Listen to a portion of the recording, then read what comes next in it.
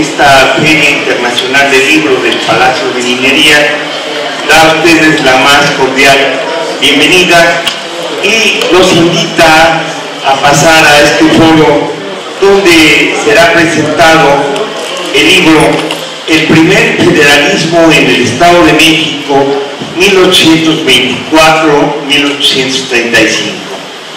Está con nosotros la autora la doctora Carmen Salinas Sandoval, así como la comentarista doctora María del Pilar Iracheta Senecorta. Me voy a permitir leer una breve semblanza curricular. En primer lugar, de la comentarista doctora Pilar Iracheta Senecorta. Es doctora en Historia por la Universidad Autónoma de Zacatecas, Francisco García Salinas, maestra en Estudios Regionales por el Instituto de Investigaciones Sociales, doctor José María Luis Mora, y licenciada en Historia de México por la Facultad de Humanidades de la Universidad Autónoma del Estado de México. Actualmente se desempeña como investigadora de tiempo completo en el Colegio Mexiquense AC y cuenta con el reconocimiento de perfil deseable promedio. Sus líneas de investigación son historia de los usos del agua e historia sociopolítica y administrativa de los municipios. Ha impartido cursos de historia regional e historia de México en la OAMX y en el Colegio Mexiquense AC. Entre sus publicaciones más recientes se encuentran un capítulo del libro El aprovisionamiento de agua en la Toluca colonial, en 25 años de investigación en ciencias sociales y humanidades, coordinado por la doctora María Teresa Carquín Ortega y publicada por el Colegio Mexiquense, Mexiquense AC capítulo del libro Historiografía Mexiquense, retrospectiva y perspectiva para el futuro siglo XX, el presente y futuro de la historiografía regional de México en el siglo XX, publicado por la Universidad Autónoma de Nayarit y el gobierno del mismo estado. Capítulo del libro Del agua de los religiosos a ayuntamiento, la transición en la ciudad de Toluca, 1814 1861, en Las ciudades y el agua, una perspectiva histórica del Colegio Mexiquense AC. Dejo en el uso de la palabra a la comentarista doctora Hilaria Racheta Muchas gracias, Alfonso. Pues agradezco esta oportunidad de presentar un libro de mi colega y amiga, la doctora Carmen Salinas. La conformación de México como nación bajo el sistema republicano, representativo y federal que nos rige actualmente fue un proceso muy complejo, vinculado al nacimiento del Estado Nacional, difícil de implantar en un territorio que había sido primero colonia de España y luego un efímero imperio presidido por Agustín de Iturbide. En este contexto, la implantación, la práctica, los logros y obstáculos, así como lo que la autora llama el fracaso del primer federalismo en el Estado de México, 1824-1835, es la temática del libro que hoy presento. La autora lanza una pregunta central. Cito, ¿por qué el primer federalismo no se consolidó como forma de gobierno nacional, estatal, si reconocía la autonomía de los estados y articulaba prácticas liberales heredadas de la Constitución de Cádiz de 1812. Para contestarla, la autora armó su investigación con una introducción y seis capítulos, valiéndose de una metodología propia, construida por la autora, que es uno de los grandes valores de este libro producto de un estudio de muchos años en torno a una temática poliédrica, difícil de aprender en toda su dimensión, misma que abarca aspectos diversos, territoriales, políticos, filosóficos, religiosos, étnicos, económicos, sociales y culturales. Destaco aquí tres principios metodológicos que llamaron mi atención. Primero, para entender el sistema federal, como nos dice Carmen, que hoy nos rige, nos explica la autora que es preciso ir al pasado. De este modo, el primer principio metodológico es entender a la historia como la disciplina que permite comprender los procesos del presente acudiendo al pasado. Entendido no como una secuencia de hechos inconexos entre sí o sin un sentido último, más bien como un conjunto de acontecimientos, hechos y procesos articulados en torno a una serie de preguntas de investigación en este caso, de este libro, cómo se articuló el federalismo, cómo se desarrolló y lo más importante, por qué no perduró más allá de 1835. Otro segundo principio metodológico es la comprensión de que la implantación del federalismo en México no puede entenderse estudiando todo el país, dada su diversidad y la peculiaridad de dicho proceso histórico en cada entidad federativa.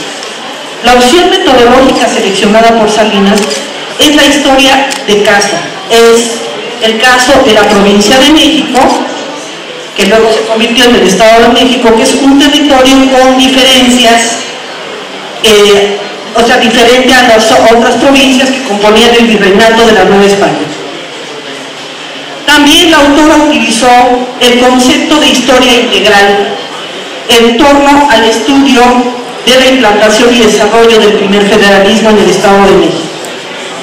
Explicada como, y cito, la articulación necesaria de los hechos históricos del primer federalismo construido con el análisis de la información de la legislación liberal y su aplicación vinculada al pacto federal. Se busca una visión histórica integradora de la legislación con los acontecimientos políticos, como elecciones, administración pública, la implantación de la hacienda, el desarrollo de los municipios.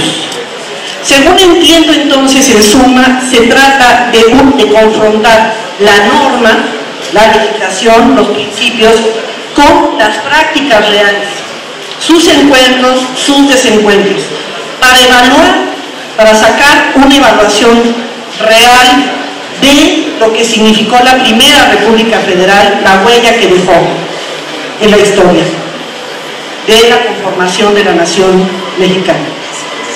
La estructura de la obra está, como dije, compuesta de una introducción y seis capítulos. La introducción es una parte muy útil para el lector. En ella la autora nos provee de los conceptos metodológicos, algunos a los que ya me he referido arriba, pero en especial me interesa resaltar la centralidad que hace Salinas de la vinculación de los conceptos de federalismo y liberalismo. Pues, como nos dice la autora, la aplicación de los principios liberales como la libertad individual, las garantías, las elecciones, la división de poderes, articulada a las teorías federalistas fue una verdadera innovación durante la Primera República Federal. Gracias a esto se dio una forma que empezó a romper con el colonialismo, con las formas arcaicas, se dio un gobierno más equitativo. Si bien subsistiría todavía el peso corporativo colonial de los grupos de poder. En el capítulo 1 de la autonomía de Cádiz al federalismo mexicano, con base en la propuesta de la autora de una historia integral, que comprende, como dije ya, la doctrina liberal y las teorías federales y su aplicación en el proceso histórico concreto de 1824 a 35, la autora nos remonta a las reformas borbónicas y su antiguo fermento de modernización liberal en el siglo XVIII. Algunas de estas reformas fueron el ataque a los privilegios de las corporaciones, la implantación en las colonias españolas de una nueva estructura político-administrativa, el libre comercio, la libertad individual. Por otro lado, la célebre Constitución de Cádiz, promulgada en 1812, recogerá y ahondará en los preceptos liberales de las reformas borbónicas, como la libertad individual, la igualdad de los individuos ante la ley, la división de poderes, el saneamiento fiscal, etc. Será esta constitución el fundamento para la definición de un régimen liberal temprano en México, en la, en la Nueva España, todavía no México, fue en 1812, con base en una nueva división del territorio que fueron las provincias y también una nueva categoría para la población que ahora eran ciudadanos y vecinos, ya no eran los súbditos de España. Y una legislación de corte liberal. Pero son dos instituciones, eh, legados de Cádiz, que Salinas resalta especialmente y que prepararán el federalismo y su vinculación con la doctrina liberal. Se trata de las diputaciones implantadas en las provincias y los ayuntamientos que también serán eh, eh, este, implantados. Son instituciones que arraigaron como gobiernos locales, que gozaron de elecciones de corte liberal, que respondieron a las necesidades y anhelos regionales. Y para rematar, otra institución muy importante, el Congreso Constituyente de 1824, que debía prolongar la primera constitución y que afirmó varios preceptos liberales de la Constitución de Cádiz, más otros traídos de la Constitución estadounidense de 1789. Como un preludio al análisis de la práctica del federalismo en el Estado de México, la autora revisa la práctica real del sistema eh, a nivel del sistema federal es un, es un panorama que ella nos da en el momento en que ya se implanta la Constitución de 24. La nota central es que a pesar de los esfuerzos de congresistas, de, políticos, de grupos, se va determinando el declive del sistema. Nos habla ya aquí de una debilidad del gobierno federal, tanto política, al recibir las decisiones más fuertes en el Congreso, y también económica, porque se le dieron a los estados percepciones que no querían compartir con el centro. Y, para rematar, los pronunciamientos militares y asonadas de distintos actores en contra del federalismo que fueron continuos. En el capítulo 2 ya eh, se adentra la autora en lo que es propiamente la implantación del federalismo en el Estado de México, se llama el capítulo de Provincia de México, la entidad federativa, se describen y analizan las características de la provincia de México, que luego devendría Estado de México. Dichas características marcaron el rumbo que seguiría el federalismo en la naciente entidad. Por principio de cuentas, eh, nos dice la autora que el Estado de no era muy proclive al federalismo. Había una serie de condiciones muy peculiares de, esta, de la provincia, por, no, por eso no quería el federalismo. Primero la economía estaba arruinada por la guerra de independencia, consecuencias que vino sufriendo ya en la vida independiente. Y además los diputados no querían el sistema federal porque iba a afectar los privilegios de la provincia de México. Los eh, políticos mexiquenses de esa época tenían una tendencia más hacia el centralismo, simpatizaban más con el centralismo. Sin embargo, eh, más adelante nos comenta la autora que andando el tiempo con las prácticas este, federalistas, el Estado de México acabaría por aceptar el federalismo y además defenderse como entidad federativa. y, precisamente en los capítulos 3 y 4 se aborda la práctica de, federalismo en el Estado de México durante los gobiernos de Melchor Musquiz y Lorenzo de Zavala mismos que, como nos eh, recuerda la autora, utilizaron la, cultura política ya acumulada de la Constitución Liberal de, Cádiz y la práctica político-administrativa de las diputaciones y los ayuntamientos. Musquiz era un liberal moderado, Zavala un liberal radical. De esta orientación liberal diferente también resultó una práctica diferente del federalismo en el Estado de México en los dos periodos gubernamentales. Durante el primer periodo de Musqui se produce el acto fundacional del Estado de México. Se promulga la primera constitución en 1824, en la cual se afirma el republicanismo y el liberalismo, pero moderado, lo que significó que el poder estatal actuara como un bloque para consolidarse y sujetara a instancias inferiores, como los ayuntamientos, para asegurar la tranquilidad social. El arduo trabajo de los legisladores implicó la organización del territorio con un régimen republicano, la separación de tres poderes, el ejecutivo, legislativo y judicial, la organización de la administración pública estatal y municipal, incluyendo el espinoso tema de la hacienda pública, la organización de las elecciones públicas, así como hacerle frente a muy diversos asuntos legales y prácticos que dañaban la nueva organización del Estado de México. Asimismo, la relación Estado-Federación fue ríspida. El Estado de México perdió, como lo había previsto, privilegios, como fue perder la Ciudad de México como capital por los impuestos que le fueron quitados para ser otorgados a la Federación.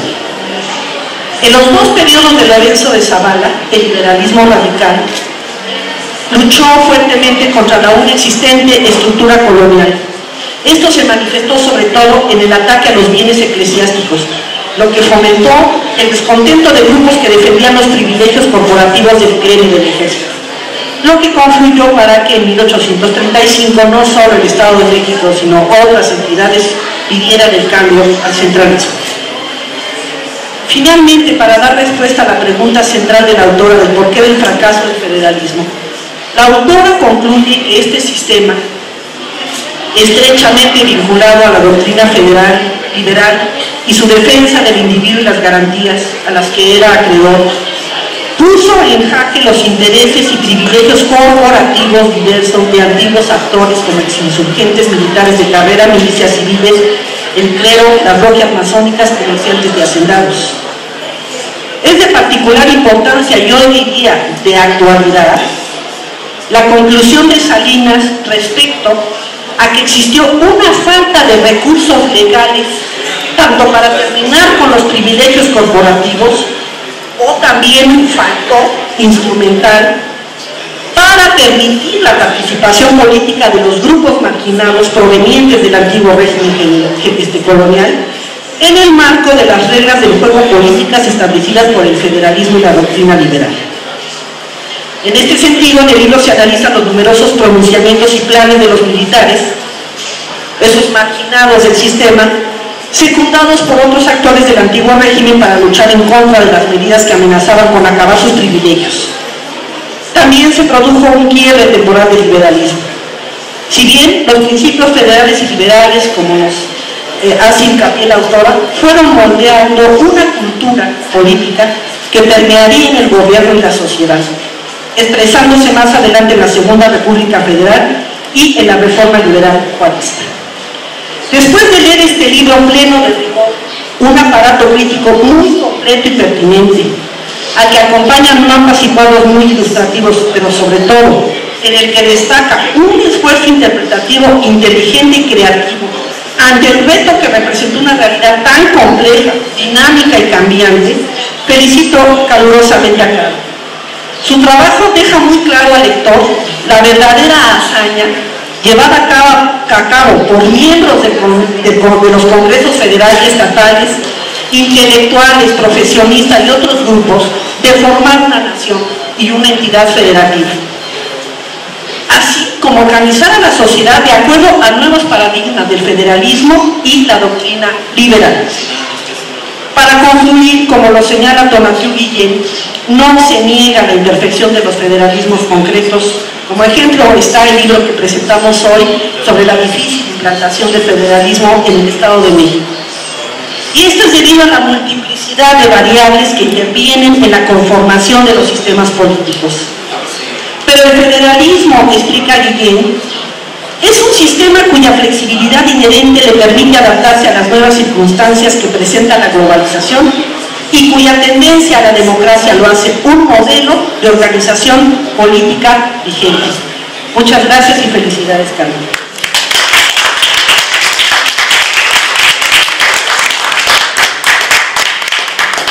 Gracias. Acto seguido, tomará la palabra la autora, doctora María del Carmen Salinas Sandoval doctora en Historia por el Colegio de México, profesora investigadora del Colegio Mexiquense AC, miembros del Sistema Nacional de Investigadores, tiene el reconocimiento a perfil deseable del programa de mejoramiento del profesorado otorgado por la SED. Sus líneas de investigación son historia de los procesos económicos y sociopolíticos de la modernidad, historia social y política de los municipios y federalismo decimonónico. Libros de su autoría son Política y Sociedad en los municipios del Estado de México, 1825-1888, el Colegio Mexiquense, Política Interna e Invasión Norteamericana en el Estado de México, 1846-48, también del Colegio Mexiquense, al igual que los municipios en la formación del Estado de México, 1824-1846, lazos de poder antagónico al liberalismo, antagónicos al liberalismo en el sur de la Huasteca Potosina, primeros años del Porfiriato, Estado de México, historia de las instituciones jurídicas y el primer federalismo en el Estado de México, 1824-1835, esta obra del Colegio Mexiquense AC que hoy se presenta. ¿Qué usted tan amable? Buenas tardes a todos. Gracias por estar aquí acompañándonos en esta presentación. Una gratitud especial a eh, por esta moderación tan especial de nuestro distinguido moderador.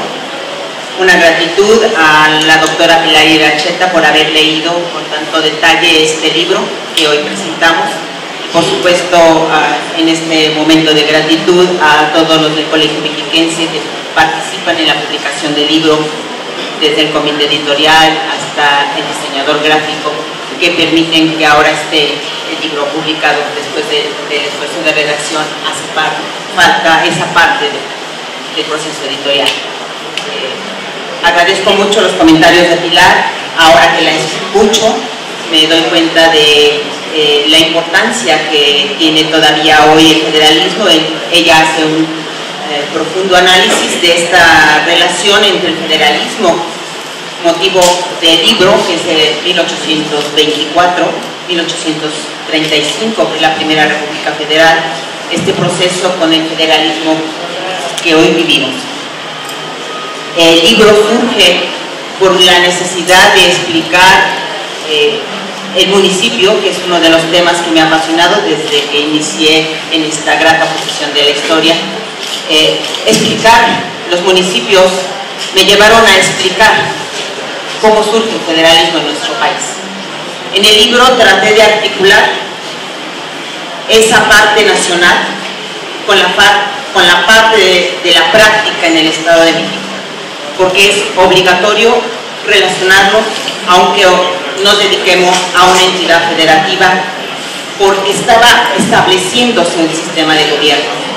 Porque este sistema de gobierno, después del periodo leve de la monarquía con Iturbide, nos permite darnos cuenta del esfuerzo en todos los niveles por constituir una república, por constituir una nación mexicana y las entidades federativas. Entonces, por eso, de ahí mi interés de partir explicando desde dónde podemos empezar con antecedentes del federalismo.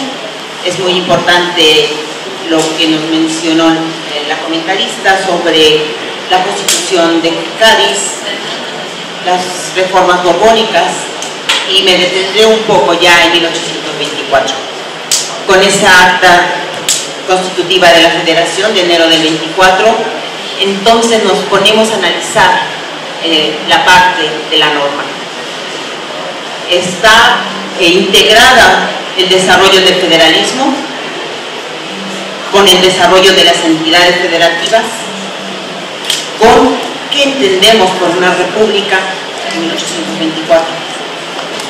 El problema de la soberanía que tanto se manejó desde el Congreso Constituyente Federal el Congreso Constituyente del Estado de México, que hoy día todavía es motivo de sesiones en el Congreso.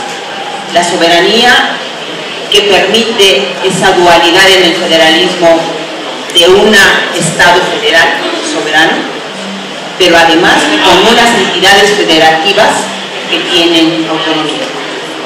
Este es uno de los temas más controvertidos desde el momento que se discute en 1824, el tipo de federalismo que se querrá poner en la República Mexicana. Por eso es mi interés eh, en esta presentación partir de con estos eh, comentarios sobre esa relación de federación-entidad federativa y a partir de esta relación me centro en el libro ya en la entidad federativa, pero sin dejar de lado la relación del Estado de México con la Federación. Es una relación constante de pugnas, de, eh, en ocasiones no exactamente pugnas, sino de acuerdos, pero que estamos viendo cómo se forma una entidad federativa, que no es suficiente 1824-35 para formarse, no, no fue suficiente, ni siquiera para formar una, ni el Estado federal ni la entidad federativa, pero damos, se dieron los primeros pasos, como concluye la doctora y la chica su comentario, todos los federalismos, todas las épocas en que estudiamos el federalismo que se dio en el país son importantes para entender el federalismo actual. El que ahora me preocupa en el libro es cómo se establece el federalismo, de dónde surge la filosofía, la norma, la práctica y por qué en 35 eh, ya no tiene la legitimación tal que se piensa en el cambio de sistema político hacia el centralismo. Pero este proceso, que es una década, permite eh, analizar desde el momento en 1824 que se da la Constitución Federal, que establece que las cuáles son las 17 entidades federativas, una de ellas por supuesto, quizá la más importante el Estado de México, como el Estado de México, no estando de acuerdo con la federación, se suma al sistema político se, suma y poco a poco vemos que va retomando la filosofía federal hacia el exterior y central al interior de la entidad. Entonces hay que manejar esa doble situación en la entidad federativa. Al exterior, con la federación, se, trata de manifestar que ya es autónomo, porque tiene que defender su situación como entidad federativa porque pierde el Distrito Federal, perdón, pierde la Ciudad de México para ser el Distrito Federal, porque tiene que estar en constante movimiento por contribuciones, ese también es una relación constante con la federación, por los diezmos, ahora quién va a organizar, a planear, a disfrutar de los diezmos de la iglesia, el Estado, como en la época colonial, o las entidades federativas. Esos son unos de los ejemplos que dieron el dinamismo interno al Estado de México. Por lo tanto, no solamente eh, hay que ver la norma, es muy importante ver algunas páginas, las dedico totalmente al análisis de la primera constitución estatal, la de 1827, y ver la relación con la del 24 federal, pero también sus particularidades. Como toda entidad federativa, tiene particularidades. Entonces, esas particularidades eh, muy rica porque sabemos que hay que estudiar a José María Luis Mora. En ese momento era el presidente del Congreso del Estado. Por lo tanto, su pensamiento de Mora, muy liberal, está en la Constitución del Estado de México. Está en otras leyes fundamentales de la época, como es la de los, la primera ley de ayuntamientos, es el pensamiento de Mora. Por lo tanto, eh, hay que ir de la norma a la práctica de esta legislación que le da inicio a una entidad federativa dentro del sistema político federal. Dentro de la organización interna, los temas que me llamaron la atención en el libro fueron, por supuesto, los ayuntamientos, el Congreso, cómo se forma el Congreso, qué discute el Congreso. Un eh, de los tres poderes estatales, ejecutivo, legislativo y judicial, el más complicado de analizar es el judicial porque tenía una relación todavía notable con la época colonial. Pues bueno, ese es uno de los elementos que que quedaron aún por seguirse estudiando. Cómo se forma y cómo va cambiando a través de los años el Poder Judicial. Así como eh, lo logré más con el Poder Ejecutivo, porque las fuentes así lo permiten.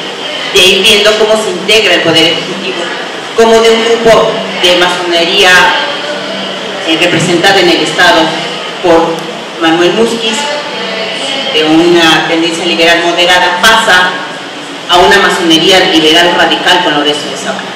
Eso es posible por las fuentes ver qué pasa con el poder ejecutivo, no así con el poder judicial. El poder legislativo también permite estudiar sus entrañas, cómo se forma, cómo da sus primeras normas, porque existe el valioso archivo eh, y expedientes del Congreso del Estado que nos permite el acceso. Estos, eh, el funcionamiento de los tres poderes, de los municipios, la Constitución, son el eje del libro y después ver cómo esas normas y esa administración que se plasmó para integrar una entidad federativa se va rompiendo los pronunciamientos militares. Entonces yo eh, considero que se dan los primeros pasos, no se respeta eh, por los militares esa estructura federal liberal. Y empieza a romperse. Desde mi punto de vista, la ruptura mayor del de, la primera, de la primera República Federal será con la elección en el Estado y a nivel del país que llega a la República Vicente Guerrero. Es decir, en ese momento se rompe el pacto federal, no se respeta el proceso electoral. Entonces llega Vicente Guerrero de una manera fraudulenta al poder.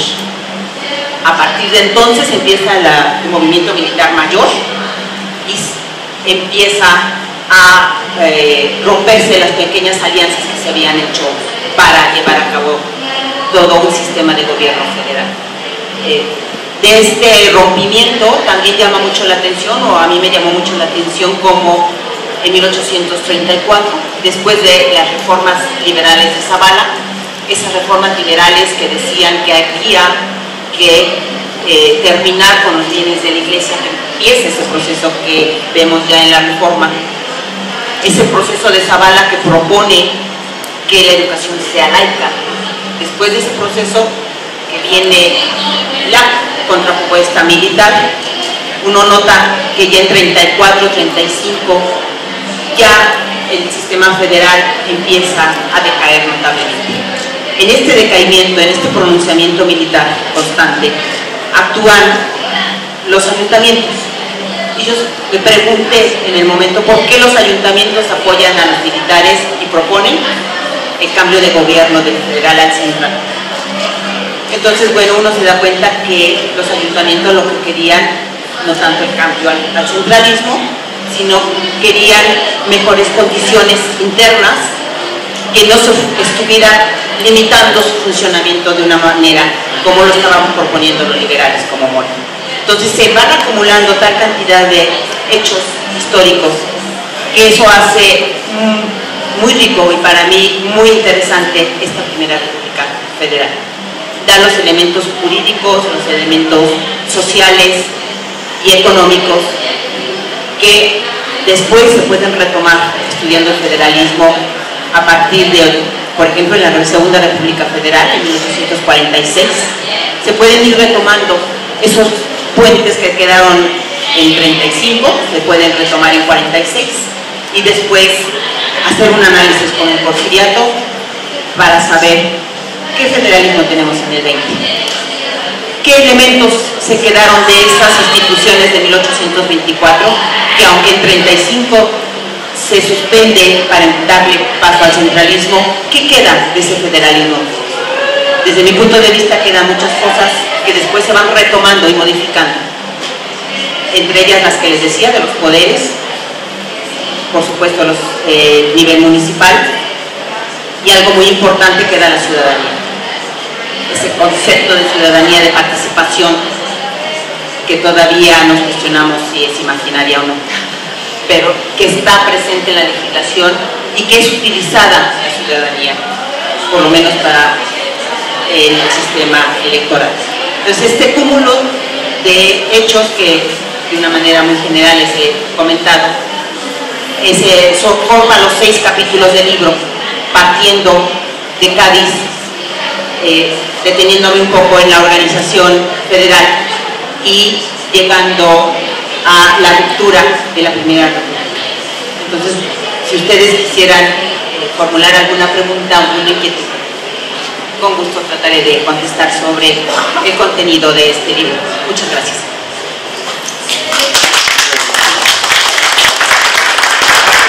Si alguien desea tomar la palabra,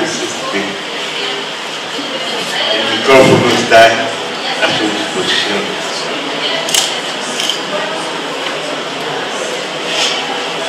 Carmen, una pregunta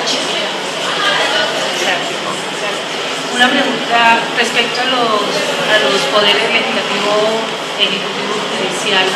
En el momento del federalismo cobra autonomía los estados, cobran autonomía los estados como el federalismo norteamericano.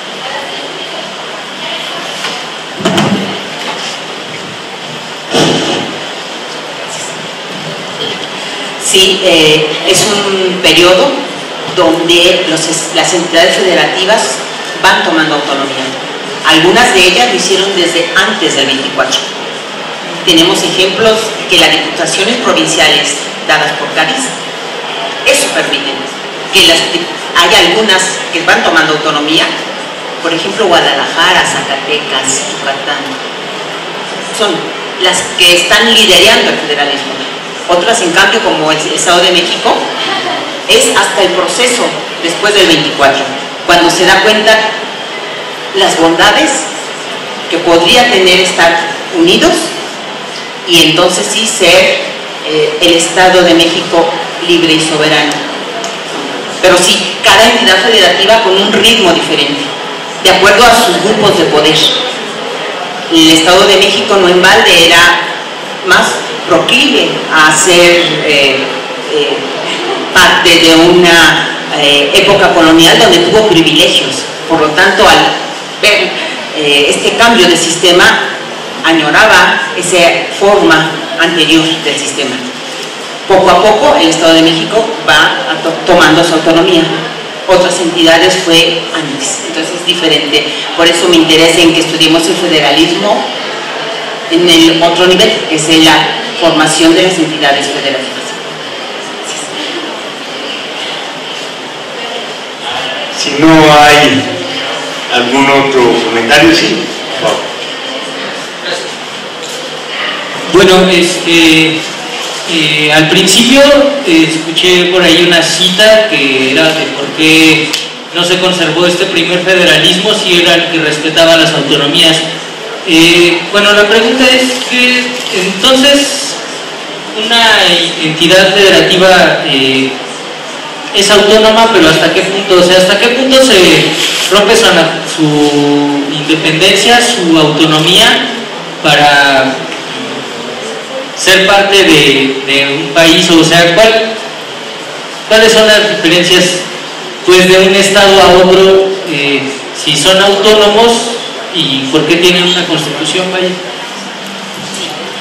Em, regresemos un poco al, bueno, el concepto de federalismo va variando en el tiempo, como los otros conceptos que lo acompañan, como el liberalismo, la soberanía, la autonomía. Eh, si regresamos a ese concepto que más se manejaba en el constituyente del 24, y tratar de formar un pacto entre un gobierno general y las entidades federativas, el pacto federal, para distribuir el poder entre ese eh, gobierno federal y los estados.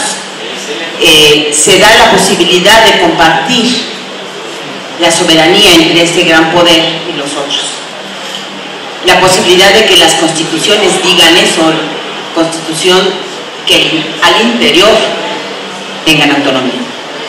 Entonces la autonomía que se está manejando en ese pacto federal es al interior y el respeto hacia el exterior. Entonces la autonomía se da en cada entidad con la posibilidad de formar una constitución y sus poderes internos. Hace un momento mencioné que al interior el Estado de México fue centralista. tenían esa posibilidad. Entonces, en eso radicaba esa autonomía hacia el interior para tratar de integrarse, porque esta, no había esa unidad política en los entidades federales. que serían estados independientes, no tendría en ningún caso un gobierno federal.